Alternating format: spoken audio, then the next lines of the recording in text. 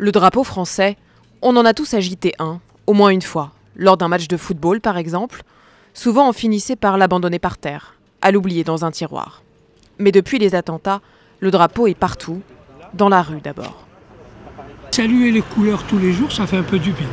On revient à des valeurs euh, essentielles dans lesquelles on se retrouve, quoi. Euh, liberté quand même, euh, égalité, fraternité, euh, solidarité. Voilà, et puis une envie de. C'est pas honteux de dire euh, on défend nos valeurs, on est français. Avoir honte d'acheter un drapeau, c'était le cas pour certains d'entre nous il y a encore une dizaine de jours. Comme en témoigne Hervé, qui fabrique des drapeaux dans sa petite usine à Gentil. la, la façon dont les gens s'exprimaient lorsqu'ils euh, commandaient un drapeau français. Euh, ils, euh, au téléphone, c'était presque des chuchotements.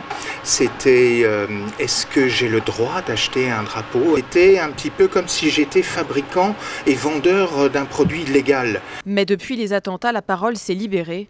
Le drapeau français reprend des couleurs. Le nombre de personnes qui ont appelé est euh, évalué entre 4 à 5 fois plus, en fait, Euh, de particuliers, mais aussi d'entreprises. Dans les foyers, dans la rue, au bureau, mais aussi sur Internet, les trois couleurs s'affichent. Un combat drapeau contre drapeau, bleu, blanc, rouge, contre le drapeau noir de Daesh.